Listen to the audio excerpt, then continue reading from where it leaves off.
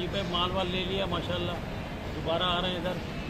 और मलिक साहब सर हम कहाँ पहुँचे अभी तक? सत्तर पहुँच गए वापसी। वापसी इंशाल्लाह छः सात घंटे में घर पे होंगे इंशाल्लाह। आएँगे भी। और मलिक साहब रोज़ थोड़ा देख लेना दोबारा। सही है। चलो रोज़ की तस्वीरें वगैरह भी शेयर करते हैं इंशाल्लाह आपको।